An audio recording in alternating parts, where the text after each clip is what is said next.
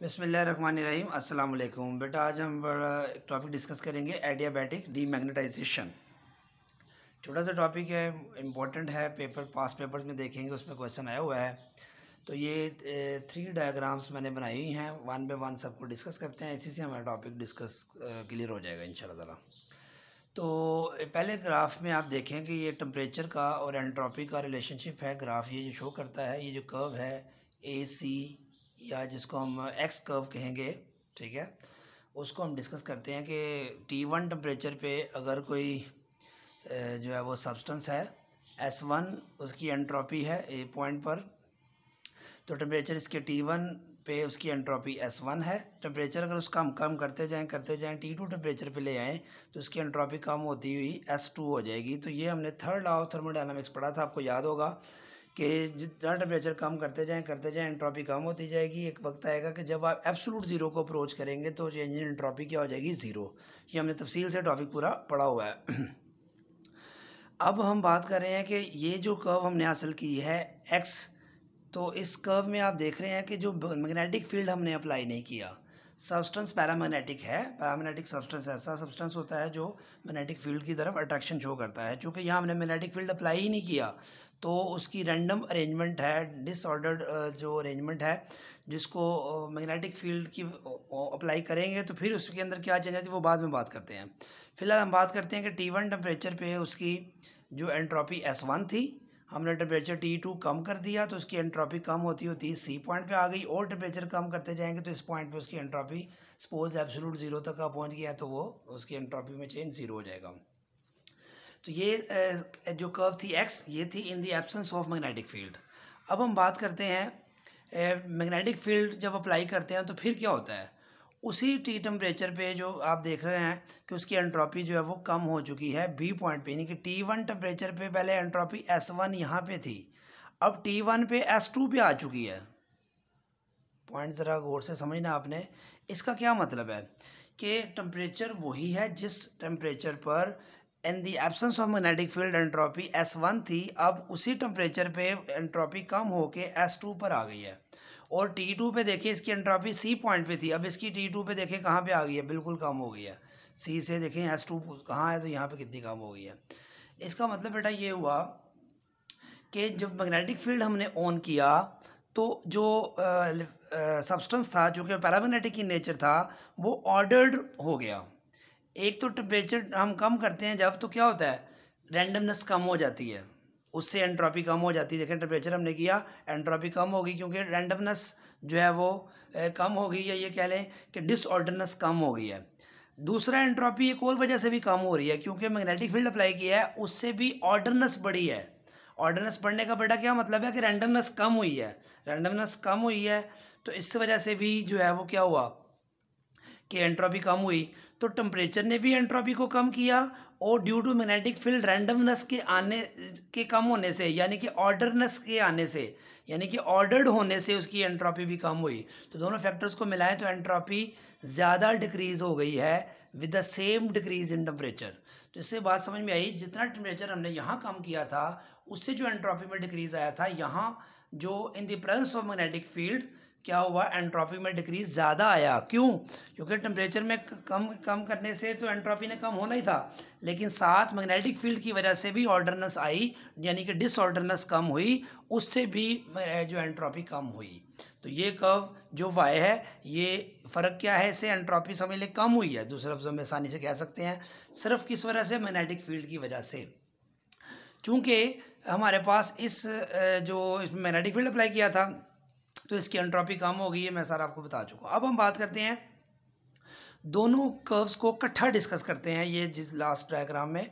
अब यहाँ पे देखें, ये जो ए पॉइंट है, यहाँ पे टेम्परेचर पता कितना है? टी वन और उसके कॉरस्पॉन्डिंग एंट्रोपी कितनी एस वन इसको अगर परपेंडिकुलर नीचे ड्रॉ करें तो ये जो ये जो ए पॉइंट था, ये था in the absence of magnetic field तो ये कर्व ए से बी में, यानी कि आप देखें एस वन से एस टू एंट्रोपी में ये जो डिक्रीज आया उसी टेम्परेचर पे। टी वन टेम्परेचर पर in the absence of magnetic field entropy आ रही है S one in the presence of magnetic field entropy कितनी आ रही है बेटा? एस टू तो ये जो डिक्रीज आया है एंट्रॉपी में एस वन से S two at the same temperature ये किस वजह से बेटा आया है? ड्यू टू मैग्नेटिक फ़ील्ड क्योंकि यहाँ मैग्नेटिक फ़ील्ड ज़ीरो नहीं है, यहाँ मैंने मैग्नेटिक फ़ील्ड अप्लाई किया है। उससे है ये सारी बात समझा चुका हूँ कि ये डबल एंट्रोपी में डिक्रीज आएगा टेम्परेचर सेम रहेगा। एक बात तो ये होगी दूसरी बात जो है, हम, ये ए से बी में देखें एंट्रोपी तो डिक्रीज हुई है, लेकिन टेम्परेचर टी वन ही है। एस वन पे भी टी वन एस टू पे भी टी वन तो इसको हम बोलेंगे isothermal magnetization A to B path A से बी जो ये पाथ है, इसको हम बोलते हैं आइसोथर्मल क्यों कहते हैं? क्योंकि टेम्परेचर सेम है। मैग्नेटाइजेशन का मतलब क्या है? कि ए से जब बी में हम जंप करते हैं तो ये जो डिफरेंस आ रहा है एंट्रोपी का, ये किस वजह से आ रहा है? Due to magnetic field due to applying magnetic field इसलिए इसको बोलते हैं टेम्परेचर का सेम रहना एंट्रोपी का चेंज होना। ड्यू टू मैग्नेटिक फ़ील्ड इसको बोलते हैं आइसोथर्मल मैग्नेटाइजेशन एक तो ये बात समझ में आ गई हमें। फिर दूसरी टर्म बेटा हमारे पास है एडियाबैटिक डीमैग्नेटाइजेशन इसको समझते हैं। सी से बी पाथ की हम बात करते हैं हम। अब सी से बी को देखें ज़रा, अगर आप गौर करें तो। अब सी से बी जो लाइन है, इसमें सी से हम शिफ्ट हो रहे हैं। सी पॉइंट पे जो एंट्रोपी एस टू है बी पॉइंट पे भी वही है। फ़र्क क्या है कि यहाँ हमने मैग्नेटिक फ़ील्ड अप्लाई नहीं किया, यहाँ मैग्नेटिक फ़ील्ड अप्लाई किया है। यहाँ टेम्परेचर टी टू है, यहाँ टेम्परेचर टी वन है। इसका मतलब बताएँ क्या हो सकता है आपके ख्याल में? देखें सी पॉइंट पे भी एंट्रोपी एस टू है बी पॉइंट पे भी एंट्रोपी एस टू है। टेम्परेचर अब चेंज हो गया तो पहले हमने पढ़ा था कि एंट्रोपी डिफरेंट थी टेम्परेचर सेम था। तो उसको हमने कह दिया एसोथर्मल मैग्नेटाइजेशन क्या मतलब मैग्नेटिक फ़ील्ड अप्लाई करने से जो है, उसकी एंट्रोपी जो है वो डिक्रीज़ हुई है, लेकिन जो टेम्परेचर हमने चेंज नहीं किया। यहाँ पे एडियाबेटिक में क्या पढ़ते हैं हम देखें ज़रा। सी से बी की तरफ़ का मतलब क्या है? टी टू से टी वन की तरफ़ शिफ्ट हो रहे हैं आप। टी टू से टी वन का मतलब टेम्परेचर बढ़ा रहे हैं। तो टेम्परेचर बढ़ाने से क्या होना चाहिए बेटा देखें? जब आप टेम्परेचर बढ़ाएँगे तो डिसऑर्डरनेस बढ़ेगा। ठीक है? तो एंट्रॉफी बढ़नी चाहिए। लेकिन एंट्रॉफी हमने कहा एस टू है, उधर जाके भी। लेकिन हुआ ये कि आपने मैग्नेटिक फ़ील्ड साथ ही अप्लाई कर दिया। मैग्नेटिक फ़ील्ड अप्लाई करने से डिसऑर्डरनेस कम होती है। टेम्परेचर बढ़ाने से डिसऑर्डरनेस बढ़ी एंट्रोपी ने बढ़ना था, लेकिन मैग्नेटिक फ़ील्ड अप्लाई कर दिया आपने इधर से जब इधर शिफ्ट हो रहे हैं मैग्नेटाइजेशन इस तरफ़ कर रहे हैं तो क्या हुआ? डिसऑर्डरनेस कम हो गई। तो डिसऑर्डरनेस यहाँ बढ़ी एंट्रोपी बढ़ी, यहाँ कम होगी तो दोनों एक दूसरे के इफ़ेक्ट को क्या कर देंगे? कैंसिल जिसके नतीजे में एंट्रोपी क्या रहेगी? कांस्टेंट रहेगी।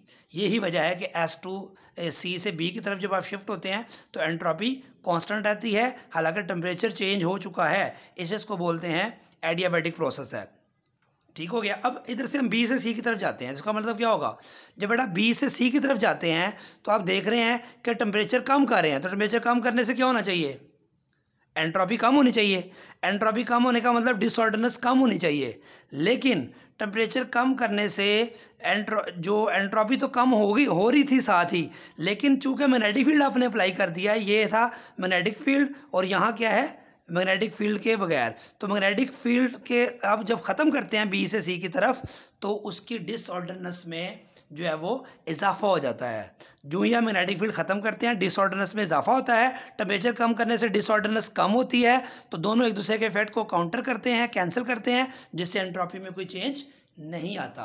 तो जब आप सी से बी की तरफ़ जाते हैं तो टेम्परेचर बढ़ाते हैं डिसऑर्डरनेस बढ़ती है बढ़नी चाहिए लेकिन बढ़ती नहीं है क्योंकि मैग्नेटिक फ़ील्ड की तरफ़ शिफ्ट हो रहे हैं तो ऑर्डरनेस उतनी बढ़ जाती है। ए, कम ऑर्डरनेस बढ़ जाती है डिसऑर्डरनेस कम हो जाती है जिससे एंट्रोपी कॉन्स्टेंट आती है। लेकिन जब बी से सी में शिफ्ट होते हैं तो आप मैग्नेटिक फ़ील्ड को ख़त्म करके D magnetic magnet D magnetisation करते हैं। उससे क्या होता है? तो और उसकी जो एंट्रोपी बढ़ती है, जबकि टेम्परेचर कम करने से कम होती है तो दोनों एक दूसरे के फैट को कैंसिल कर देते हैं। इसलिए उसकी जो एंट्रोपी तो चेंज नहीं होती, लेकिन टेम्परेचर जो है वो चेंज हो रहा होता है। इसको हम बोलते हैं बेटा एडियाबैटिक डी मैग्नेटाइजेशन इसका हमारे पास, इसका हमें फ़ायदा क्या होता है? जो एंट्रोपी रिमेन्स इसमें कांस्टेंट रहती है adiabatic magnetization is a technique which can be use to get the system at very low temperature low temperature हम हासिल करने के लिए इस टेक्निक को यूज़ कर सकते हैं। पॉइंट ज़ीरो फाइव कैलवन तक टेम्परेचर हम इसमें हासिल कर सकते हैं। तो ये सिंपल सा टॉपिक था। इसको ज़रा कॉन्सनट्रेट करके आपने समझना है कि मैग्नेटिक फ़ील्ड की मौजूदगी में एंट्रोपी कम हो जाती है। पहली बात तो सिंपल ये है, और मैग्नेटिक फ़ील्ड अगर अप्लाई नहीं किया तो सब्सटेंस बेशक पैरामैग्नेटिक है।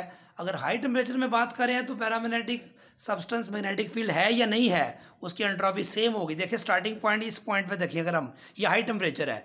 इधर से स्टार्टिंग पॉइंट दोनों का सेम है। लेकिन चूँकि मैग्नेटिक फ़ील्ड अप्लाई करते हैं तो एंट्रोपी में फ़र्क पहले ज़्यादा आना कम कम होना शुरू हो जाती है, जबकि इसकी एंट्रोपी में देर से कम होना शुरू होती है, क्योंकि इसमें ऑर्डरनेस आ जाती है।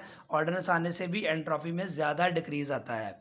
तो ये अलग अलग हमने पहले पढ़ा, फिर हम समझा कि जब हम नॉन मैग्नेटिक से मैग्नेटाइजेशन की तरफ़ जाते हैं तो एंट्रोपी कम होती है मैग्नेटाइजेशन से डी मैग्नेटाइजेशन की तरफ़ जाते हैं तो एंट्रोपी जो है वो जो मैग्नेटाइजेशन से डी मैग्नेटाइजेशन की तरफ़ जाते हैं। तो आपने देखा कि जब मैग्नेटिक फ़ील्ड ख़त्म होता है तो रैंडमनेस बढ़ जाती है एंट्रोपी इंक्रीज़ हो जाती है। तो ये सिंपल सा टॉपिक था, इसमें कोई प्रॉब्लम होगी तो आप रब्ता कर सकते हैं। मैं इमेज सेंड कर दूँगा, इसको तफसील से, गौर से पढ़ेंगे तो आपको कोई प्रॉब्लम नहीं होगी। अल्लाह हाफिज़।